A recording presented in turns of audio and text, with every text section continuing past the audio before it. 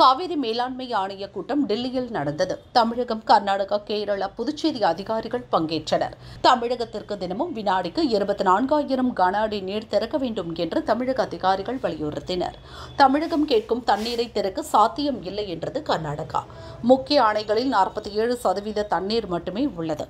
பருவமழையும் போதிய அளவு பெய்யவில்லை. குடிநீர் தட்டுப்பாடும் உள்ளது என கர்நாடகா கைவரித்தது.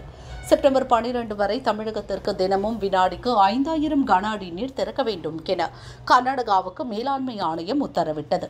ஆனால் நீர் இருப்பு இல்லை என கூறி கர்நாடக அதிகாரிகள் உத்தரவை ஏற்க மறுத்துவிட்டனர். காவிரி நீர் திறக்க உத்தரவிடக் கோரி தமிழக அரசு ஏற்கனவே சுப்ரீம் கோர்ட்டில் வழக்கு தொடர்ந்துள்ளது. இச்சூழலில் காவிரி ஆணையத்தில் நடந்த விவாதங்களின் விவரங்களை தமிழக அரசு சுப்ரீம் கோர்ட்டில் அறிக்கையாக தாக்கல் செய்யும் என தெரிகிறது.